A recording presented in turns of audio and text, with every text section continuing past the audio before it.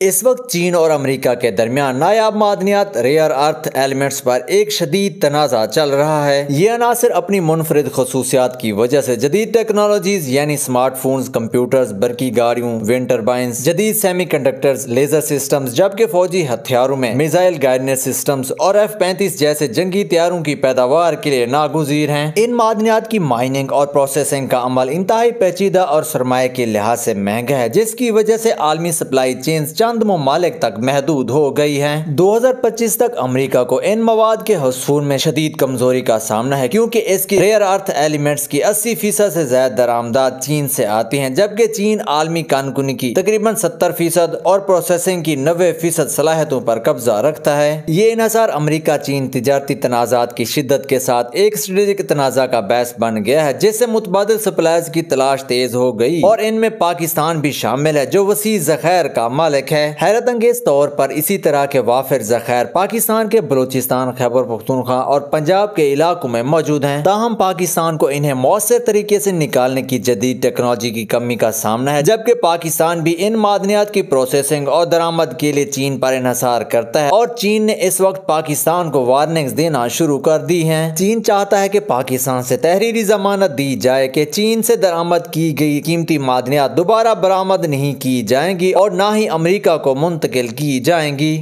ناظرین، چونکہ چین ان معدنیات کو امریکہ کے خلاف ایک جوابی ہتھیار کے طور پر استعمال کرنے کی تیاری کر رہا ہے، اگر واشنگٹن چین پر لگائے گئے ٹیرف میں رعایت کرنے کو تیار نہ ہوا تو چین امریکہ کو اہم معدنیات کے ایکسپورٹ پر پابندی لگانے کا حق محفوظ رکھتا ہے۔ چین کے اس قدم کی تیاریاں مہینوں نہیں بلکہ دہائیوں سے جاری ہیں۔ یاد رہے کہ ٹرمپ نے یکم نومبر دو ہزار پچیس سے چینی درآمدات پر سو فیصد ٹیرف کا اعلان کیا تھا، جس نے تجارت کی مزاحمت کے ایک نئے دور کا آغاز کیا اور واشنگٹن کو توقع تھی کہ یہ چین کی کلیدی برآمدی صنعتوں پر ضرب لگائے گا، لیکن یہ عمل خود امریکہ کے گلے پڑنے لگا ہے۔ چین نے اب تک اپنا رد عمل روکا ہوا ہے، لیکن اب لگتا ہے کہ وہ پیش کی کاروائی کرنے کو تیار ہے۔ اگر چین نایاب معدنیات کی برآمد پر حقیقی پابندیاں لگاتا ہے تو امریکہ کے لیے نتائج تباہ کن ہو سکتے ہیں۔ موزہ نظرین، چونکہ چین ان مواد کی دنیا بھر کی کانکنی اور پروسیسنگ کا تقریباً نوے فیصد کنٹرول کرتا ہے اور ان معدنیات کے بغیر جدید الیکٹرانکس جدید چپس ہتھیاروں کے کنٹرول سسٹم برقی گاڑیوں اور لیزر سسٹمز کی پیداوار ناممکن ہے، جس سے امریکی صنعت کا تقریباً پورا ٹیکنالوجیکل بیک بون کمزور ہو جائے گا۔ پینٹاگون میں نام نہاد ذرائع کے مطابق آسٹریلیا، بھارت، پاکستان اور افریقہ میں متبادل سپلائرز کی تیز تلاش کے اختیارات پر غور کیا جا رہا ہے۔ اور یہ ممالک ممکنہ طور پر روسی تیل کی طرح چین سے امپورٹ کر کے امریکہ کو ایکسپورٹ کرنے کا ارادہ رکھتے ہیں، لیکن چین ان تمام متوقع خدشات کو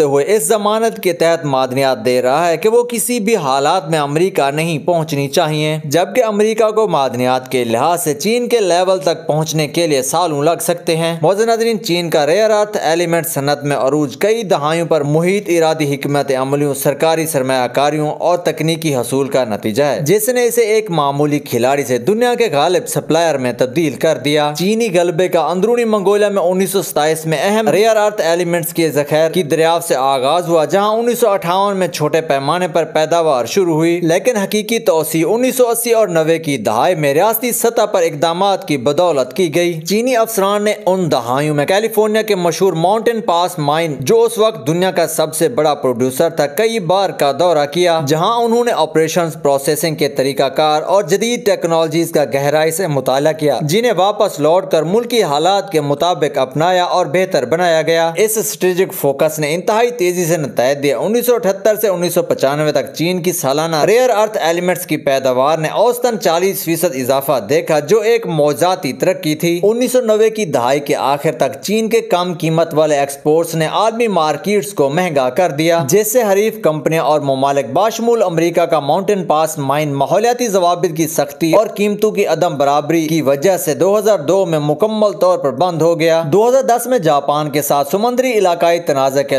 دوران چین نے ریئر ارتھ ایلیمنٹس ایکسپورٹس پر عارضی پابندی لگائی، جس سے عالمی قیمتیں بیس گنا تک بڑھ گئیں اور ریئر ارتھ ایلیمنٹس کی جیو پولیٹیکل اہمیت کو دنیا نے پہلی بار براہ راست دیکھا۔ دو ہزار بیس کی دہائی کے آغاز تک چین نے ایڈوانس پروسیسنگ ٹیکنالوجیز میں بھاری سرمایہ کاری کی، جس سے خام مال کی ایکسپورٹ سے ہٹ کر عالمی ریئر ارتھ ایلیمنٹس کی نوے فیصد پیداوار ملکی سطح پر منتقل ہو گئی۔ دو ہزار پچیس تک چین کے پاس تقریباً چوالیس million ton rare earth elements کے ذخائر ذخیر ہیں، جو کسی بھی ملک سے زیادہ ہیں۔ اور وہ عالمی کانکنی کی انہتر فیصد پیداوار پر قابض ہے، جو نہ صرف مائننگ بلکہ ریفائننگ اور فائنل مصنوعات کی تیاری تک غلبہ رکھتا ہے۔ موزن ناظرین امریکہ اور چین کے تعلقات ایک مکمل سپیکٹرم کی رقابت میں تبدیل ہو گئے ہیں، جس میں ریارت ایلیمنٹس معاشی جنگ کا ایک انتہائی طاقتور ہتھیار بن چکے ہیں۔ صدر ڈونلڈ ٹرمپ کے یکو نومبر دو ہزار پچیس سے چینی درآمدات پر سو فیصد ٹیرف کے اعلان نے اس کمزوری کو مزید نمایاں کر دیا، جو چین کی کلیدی برامدی صنعتوں کو نشانہ بنانے کا مقصد رکھتا تھا۔ جواب میں بیجنگ نے چار اپریل دو ہزار پچیس کو سات اہم ریئر ارتھ ایلیمنٹس کی برآمد پر پابندیاں عائد کرنے کا اندیا دیا۔ بیجنگ ان پابندیوں کی تیاریوں میں مہینوں نہیں بلکہ دہائیوں سے مصروف ہے۔ اگر یہ پابندیاں مکمل طور پر نافذ ہوئیں تو امریکہ کی جدید ٹیکنالوجی مارکیٹ ستر فیصد تک مفلوج ہو سکتی ہے، جو میزائل گائیڈنس سسٹمز، برقی موٹرز کے مقناطیس، مائکرو چپس اور ایف پینتیس تیاروں کے سسٹمز میں استعمال کے لیے انتہائی اہم عنصر ہیں۔ Apple Tesla lock head Martin اور جنرل الیکٹرک جیسی بڑی امریکی کمپنیاں پہلے ہی خطرات کا تفصیلی جائزہ لے رہی ہیں اور ہانگ کانگ کے بزنس حلقوں سے معلومات کے مطابق چینی سپلائرز نے نومبر دو ہزار پچیس سے ممکنہ شپمنٹ میں خلل کی غیر رسمی خبرداریاں دی ہیں۔ پینٹاگون آسٹریلیا بھارت، پاکستان اور افریقہ میں متبادل سپلائرز کی تلاش میں ہے، لیکن پیداوار کو بڑھانے میں مہینوں سے لے کر سالوں تک کا وقت لگ سکتا ہے اور امریکہ کی ملکی قانون کو مکمل صلاحیت پر چلانے سے بھی چینی بلاک کی صورت میں ناکافی رہے گا۔ اس دوران چینی مالیاتی مارکیٹیں پرسکون رد عمل دے رہی ہیں۔ یوان مستحکم ہے۔ سونے کی قیمتیں بڑھ رہی ہیں اور سٹاک انڈیکسز احتیاط سے اضافہ دکھا رہے ہیں، جو بیجنگ کے اعتماد کی عکاسی کرتا ہے۔ اب چین کی معیشت دو ہزار اٹھارہ کی طرح الیکٹرانکس اور ٹیکسٹائلز پر منحصر نہیں، بلکہ بیٹریاں سولر پینلز ڈرونز اور سیمی کنڈکٹرز پر ہے، جہاں ریئر ارتھ ایلیمنٹس فیصلہ کن ہیں۔ موزن